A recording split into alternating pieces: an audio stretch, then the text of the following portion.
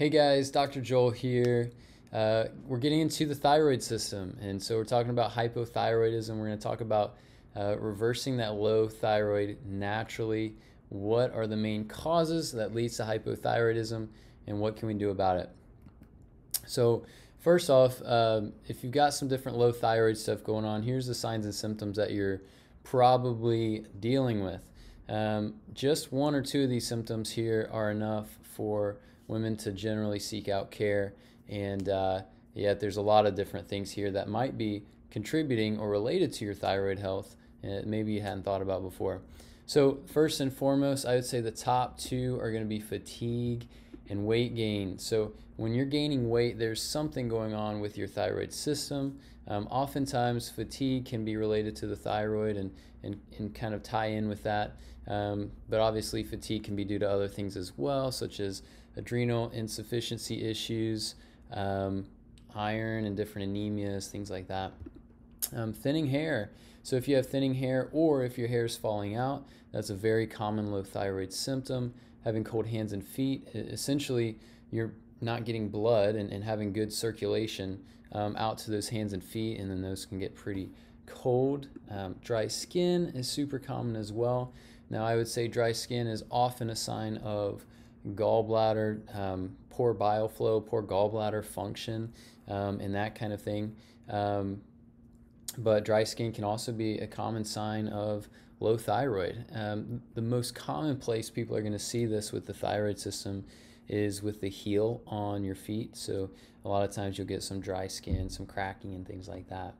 Uh, here's the hair falling out. We mentioned that one. Poor mental acuity. Okay, this has primarily to do with acetylcholine. And so, um, essentially, in order for your body to utilize acetylcholine, which is the main neurotransmitter in our brain, it helps us with memory, helps us with um, brain speed, all of those things.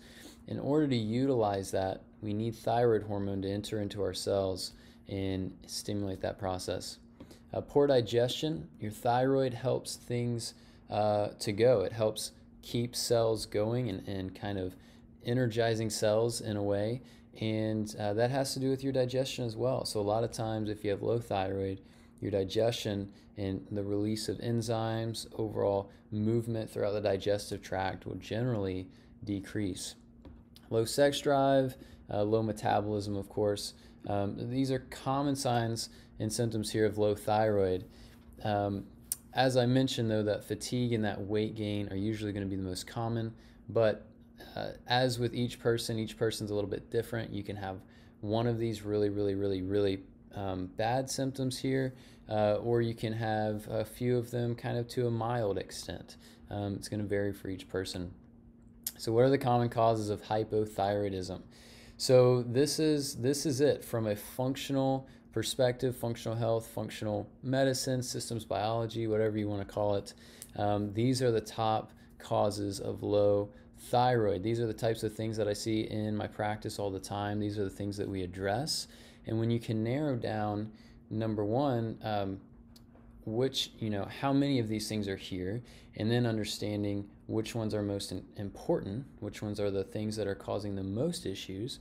And once you can get a hang of those things and, and really tackle those things, the thyroid will really uh, kind of increase in life. It'll heal itself um, that um, the weight will start coming off, um, the energy will improve, um, the hair will stop falling out, all that good stuff. So let's go through each of these um, just a little bit at a time. Now, most of these topics here, uh, I have a video on these talking through them in much more depth than we're going to talk about here. But the purpose of this video is to go through things kind of at a kind of an aerial view, just kind of get an idea of, hey, you're new to this low thyroid stuff, what kind of things should you kind of keep in mind that may be impacting your thyroid system? So, number one is Hashimoto's. Hashimoto's is an autoimmune condition where your immune system is attacking your thyroid or it's attacking the protein carriers that carry your thyroid hormone throughout the body. Those are called thyroglobulin molecules. Again, I have a video uh, or multiple videos on this that, that get into more detail with it. But with any and every autoimmune condition, um, you got to figure out what's triggering the immune system. With Hashimoto's, it can be anywhere from a gluten sensitivity to um, a virus stimulating and triggering that to fungus. Uh, those are three of the common ones that I'll see in practice. Um, with Hashimoto's, um, remember that's going to be one that you're going to diagnose with lab work. Um, it's very, very inexpensive to run um, some thyroid antibodies. Um, usually ranges anywhere from like $28 to 50 something like that. Very inexpensive. Um, high cortisol. Okay, this one's common for a lot of conditions, but um, especially with thyroid and low thyroid. Uh, if you have gotten stressed and then all of a sudden you start putting on weight, this is why it's impacting your thyroid health. Um, and so cortisol can do that. Now, we've talked about cortisol a lot more in other videos, talking about where it comes from, uh, what you can do about it, and so forth. Um, so, definitely make sure that you check those out. Insulin resistance, this one's also very common. If you're eating too many carbohydrates, too much sugar, your insulin's too high, um, those are common causes for insulin resistance. But if you've seen the other videos, you know inflammation can impact and make insulin resistance worse. As your blood sugar goes up, your thyroid is going to be impacted and your thyroid is uh, not going to be able to function as well. So, taking care of that insulin resistance is going to be huge and balancing out your blood sugar, helping your thyroid function better. Nutrient deficiencies. Okay, this ranges from a number of reasons here, uh, ranges and has an impact on a number of things. Uh, number one, your thyroid needs the right nutrients in order to make hormones. Um, some of the common nutrients people think about is iodine, selenium, and zinc, and those are extremely important. But you also have a lot of other minerals. You have magnesium, you have manganese, um, you have different vitamins and things like that that are really essential for uh, for your body to make these.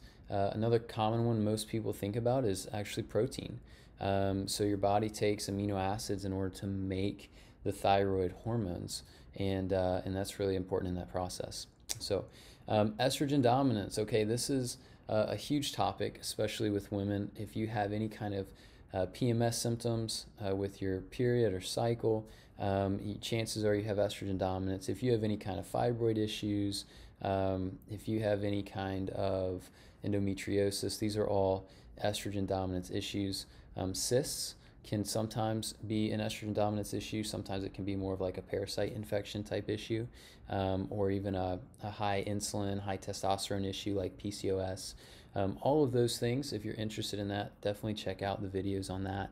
But estrogen dominance is a huge piece. And uh, for women that are on birth control, oral contraceptives, uh, when you take that synthetic estrogen, uh, the the protein that binds your thyroid hormone it has a higher affinity for estrogen than it does thyroid hormone, which basically means as soon as you take those hormones, your proteins that carry thyroid hormone will actually let go in order to hook onto the estrogen.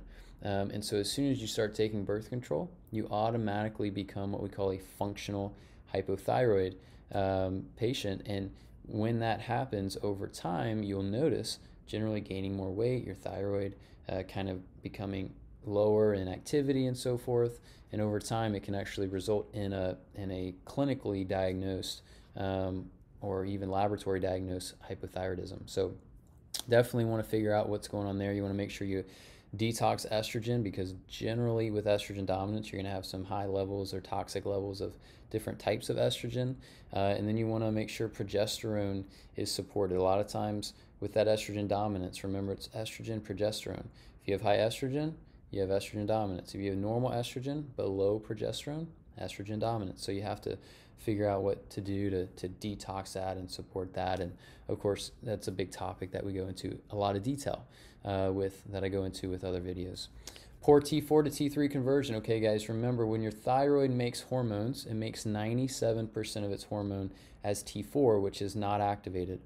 Your, your T4 is then going to go to your liver, your kidneys, your gut health, and, and some other tissues and get turned into T3 using selenium and zinc. So if you have a selenium deficiency, not only will you not be able to make as much T4 in the thyroid, but then once you make it, you might not be able to convert it into T3. Same thing with zinc. If you have a zinc deficiency, you could have issues here. Um, now, remember, 60% of this is converted and happens in the liver. So if you have any kind of um, significant liver issue, liver congestion, uh, you're not going to be able to necessarily activate your T4 and T3 very well. Um, so this is a really important topic. Um, uh, blood anemia. So this is any. So whether this is due to a low iron or low B vitamins, B12, B6, B9, all of those are really important. Uh, guys, I want you to remember with the blood anemias, uh, essentially all that means is your body is not getting enough oxygen, it's not able to carry enough oxygen in its cells. Um, and so when we look at that from that perspective, we have to realize the type of types of things that support oxygen. So obviously, iron is a really big piece with that. B6 is really important, and there's actually a component where B6, pyridoxine, has to be uh, activated into something called P5P, pyridoxal 5 phosphate. A lot of times, what people actually need is the active form um, but they can't activate the form because they don't have things like magnesium, uh, phosphorus, and things like that. Um, so um, I get into that in some other videos as well, but um, check out check out the anemia videos to kind of take a deeper dive into those things. Chlorine and fluoride toxicity, guys, you got to watch out for the tap water. Your tap water is full of these things. These things will cause low thyroid and impact your your thyroid, as well as things like your pineal gland and, and all kinds of other organs. Um, so you really want to watch out for that. Make sure you're drinking clean water. And of course, if you're in the swimming pool a lot, you know, you want to make sure you have the right nutrients to handle chlorine well. Make sure you're not uh, accidentally or unintentionally exposing yourself to too much chlorine and therefore causing hypothyroidism. Inflammation, guys, this can come from anywhere. Inflammation can come from infections, it can come from toxicities, uh, it can come from the way that we think. It can come from so many different things high cortisol, high stress. Um, actually, a lot of these things here on this page are actually root causes of inflammation. Um, as with the other topics here, I have other videos on inflammation, so make sure you check those out. Uh, one thing that's really important with inflammation is what we call fatty acid imbalances. That's where we're talking about the omega 3s and the omega 6s. We talk about how important it is to make sure you get very, very, very um, high EPA content in your foods, and you really watch out for those inflammatory oils, and uh, and that's so so commonly found in our in our uh, in our stuff, in our foods, in our snacks, all those things. Um, the emotional distress, guys, you want to obviously keep that in mind. You know, a lot of times women are naturally doing really well until they have some kind of issue with their relationship or marriage or what have you, and man, that can wreck things. Between that and stress, uh, that can really throw your uh, thyroid for a loop and uh, really impact your metabolism. You start gaining weight, just feel crummy, you feel um, kind of dull, your mood gets affected, all those different things. All right. Uh, one thing that I, I, should have mentioned actually on this first page, I'm going to go back just a second. Uh, your mood. I did not mention the mood, but oftentimes when you have low thyroid, uh, and your your mood will be affected, and uh, essentially you can feel kind of more depressed, melancholy, that kind of thing. All right, step one how would you go about addressing these things? Guys, remember this is kind of a general overview. If you're kind of new to the thyroid uh, topic here and the low thyroid, this is kind of what I would encourage you to process through. Number one, it's going to be important to rule out Hashimoto's. If you have Hashimoto's, this autoimmune condition, uh, that kind of changes the game with things. We're talking about a different ball game compared to inflammation or something like that. So with that, you can just run a basic lab test for that and rule that out, uh, or figure out if you if that is an issue, and then obviously you have to go down that pathway and figure out what to do to to find the trigger, balance that out, and so forth. So um, you can run a test for that. Any doctor should be able to run that for you. It's very inexpensive, and uh, we'll be able to tell you if you have any kind of autoimmune condition there or not. Next, you have to find and address the root cause of your thyroid. So I would say number two and three are kind of going to go together here. But when we talk about the root cause of your thyroid, we just talked about all of those. That's all these different things here on the side. And those are the things you have to really kind of narrow in and figure out uh, is which one of these might be playing an issue and um, you know how can we go about addressing that so for example if you have a life that you just are always stressed maybe work is really stressful maybe family job all those uh, I already said job. Maybe family, maybe life in general, maybe things at home. Uh, if it's stressful, you got to figure out what we can do to help balance cortisol. Um, we got to look at increasing protein intake. We got to look at maybe some adaptogenic herbs, um, all of those different things. If insulin resistance is kind of the main driver, we got to, of course, address things nutritionally. Uh, maybe look at maybe like a keto slash modified ketogenic diet, um, and really increase that protein, reduce those carbohydrates, and address inflammation. Make sure you're getting nutrient dense foods, all of those things. So, guys, we can go down through this whole list. That's what we're doing. That's what I'm doing here in, in a lot of other videos. So, make sure you check those out. Um, if you suspect that maybe your hormones are playing an impact, maybe an anemia, all those different things. Um, if I went through all this right now, this video would be uh, probably close to 30, 45 minutes long. I want to keep it a little bit shorter than that. General thyroid support. Okay, number three. So when we look at general thyroid support, we're primarily looking at nutrient deficiencies. Guys, general thyroid support uh, by far is going to be iodine, selenium, and zinc, but there's other nutrients I mentioned as well, things like magnesium, P5P, the activated B6, things like that, that can be also extremely important.